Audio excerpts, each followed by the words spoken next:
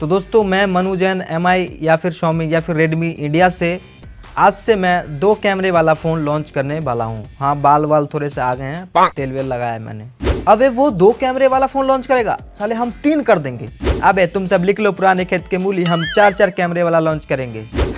हम में पुराने खिलाड़ी बाबू हम छः छः कैमरे वाला फ़ोन लॉन्च करेंगे। अबे लोल इसमें तो कैमरा ही नहीं है। कैमरा किधर गया अबे नहीं ये मज़ाक हो रहा है एक सेकंड यार मज़ाक हो रहा है। तो कुछ इसी तरह से सभी कंपनियाँ रेस लगा के दौड़ रही है कोई तीन कैमरे वाला फ़ोन लॉन्च कर रहा है कोई चार कैमरे वाला फ़ोन लॉन्च कर रहा है। तो आखिर आपको पता भी तो होना चाहिए इन सभी कैमरे का यूज़ क्या है। तो सबसे पहले बात करते हैं हम डेप्थ सेंसर की तो उसका काम मेनली यही होता है कि आपका जो ऑब्जेक्ट है और आपका जो बैकग्राउंड है वो दोनों को अलग अलग करता है ठीक है? फॉर एग्ज़ाम्पल मैं आपको एग्ज़ाम्पल देता हूँ मान लो आप किसी भी बंदा या फिर बंदी का फ़ोटो आप लोग क्लिक कर रहे हो ठीक है? वो बंदी आपकी गर्लफ्रेंड भी हो सकती है। समझ रहे हो? समझ रहे हो? तो मान लो आप किसी बंदे का फ़ोटो क्लिक कर रहे हो, बंदी भी हो सकती है, कोई गल नहीं भाई, ठीक है? तो वहाँ पे आप लोग उसका फ़ोटो क्लिक कर रहे हो तो वो आदमी जो है, वो हो गया ऑब्जेक्ट ठीक है? और उसका पीछे का जो बैकग्राउंड है, वो बैकग्राउंड होता है, ठीक है?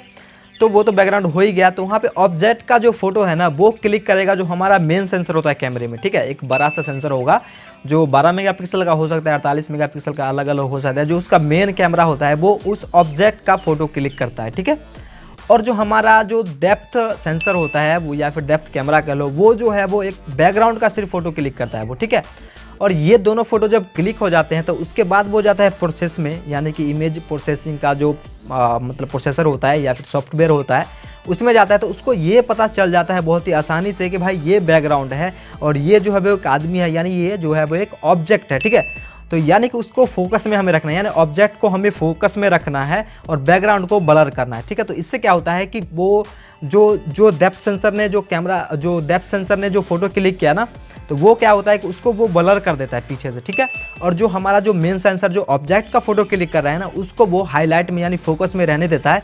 तो इसी की वजह से हमें बोके मोड जो है या फिर पीछे का जो ब्लर आता है, वो काफ़ी अच्छे से आता है। वहाँ पे उसके एजिस वगैरह काफ़ी अच्छे से हमें देखने को मिल जाता है। तो मेनली इसका काम यही होता है कि भाई अगर आप अपने गर्लफ्रेंड की फ़ोटो क्लिक कर रहे हो तो उसका बैकग्राउंड जो है वो काफ़ी ज़्यादा अच्छे से ब्लर होगा और उसकी जो चेहरा वगैरह है वो धुंधला नहीं होगा। समझ रहे हो? समझ रहे हो ना? हाँ। अबे ओ तेरे को कुछ नहीं पता है मेरे फ़ोन में ना एक ही कैमरा है तभी उसमें ब्लर आता है। तो बिल्कुल ये बंदा बिल्कुल सही बोल रहा है कि एक कैमरे में भी ब्लर आता है। लेकिन दोस्तों वो सॉफ्टवेयर के मदद से ब्लर आता है ना कि वहाँ पे एक मेनली कैमरा लगा हुआ है उसके लिए। तो उसमें आपने देखा होगा कि भाई जो हमारा कहीं पे कान कट जाता है, कहीं पे हमारा नाक कट जाता है मतलब नाक नहीं कटता है मतलब जो एजिस होते हैं, कहीं पे हमारा बाल जो है वो ब्लर ब्लर सा हो जाता है। तो वो जो है सॉफ्टवेयर के मदद से होता है तो वो अच्छे से समझ नहीं पाता है बैकग्राउंड क्या है और हमारा फेस क्या है, उसको डिफरेंट नहीं पता होता है कि भाई टॉयलेट कौन सा है और टट्टी कौन सा है। ये गलती हो गया शायद यार। भाई कट कर देना इसको। यानी कि जो डेप्थ सेंसर से हमारा जो ब्लर आता है, वो काफ़ी अच्छा आता है और जो सॉफ्टवेयर के मदद से ब्लर आता है, वो काफ़ी घटिया होता है। वहाँ पे कान वगैरह, बाल वगैरह हमारे बलर हो जाते हैं। तो मेनली यही डिफरेंट होता है इन दोनों में।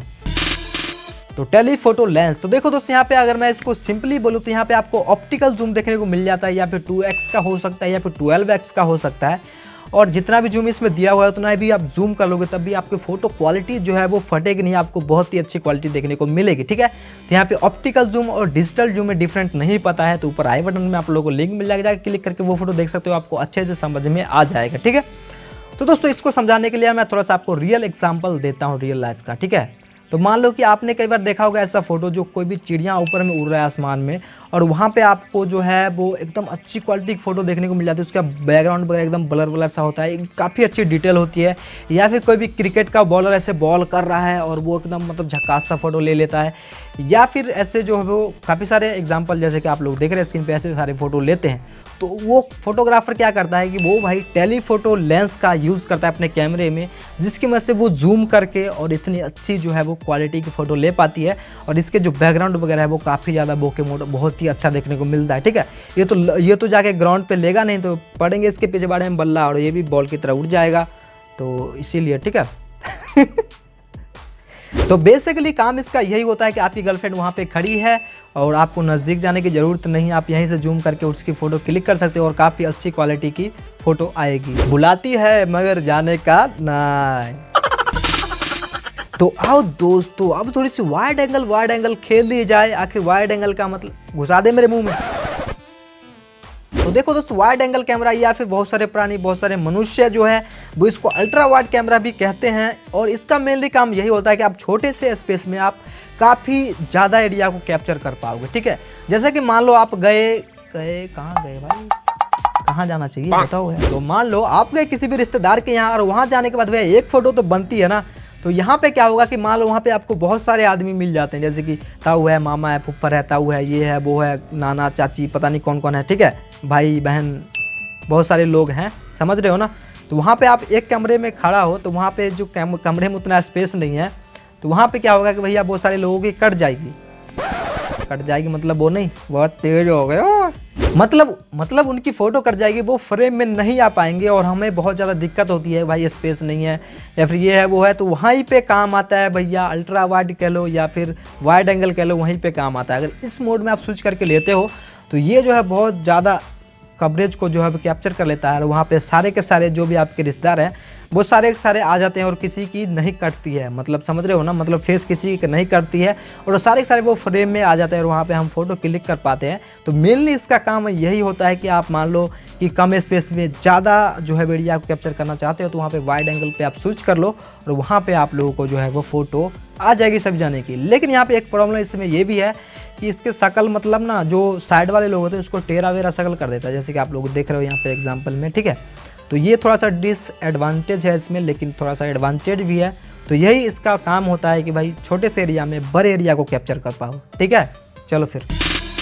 तो अब दोस्तों बात करते हैं माइक्रो ओवन की। ओ भाई माइक्रो कैमरा होता है माइक्रो ओवन हाँ वही थोड़ा सा गलती हो गया। हाँ थोड़ा सा। तो माइक्रो कैमरा का मेनली जो यूज़ है वो होता है छोटे ऑब्जेक्ट की फ़ोटो क्लिक करने में। ठीक है?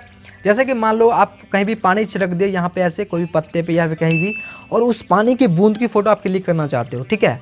या फिर कहीं भी आप वो कीड़ी छोटा सा बैठा हुआ है जो आपको बहुत ही अच्छा लग रहा है, उसको फ़ोटो आप क्लिक करना चाहते हो डिटेल में, या फिर कोई भी फूल है, उसको फ़ोटो आप क्लिक करना चाहते हो, यानी छोटे चीज़ों को फ़ोटो आप क्लिक करना चाहते हो, बहुत ही डिटेल में बहुत ही अच्छे से तो यहीं पे काम आता है माइक्रो कैमरा अगर आप नॉर्मली कैमरा से इसको क्लिक करते हो ना तो भाई वो फोकस ही नहीं कर पाएगा, उसमें ज़्यादा नज़दीक लेके जाओगे तो ठीक है?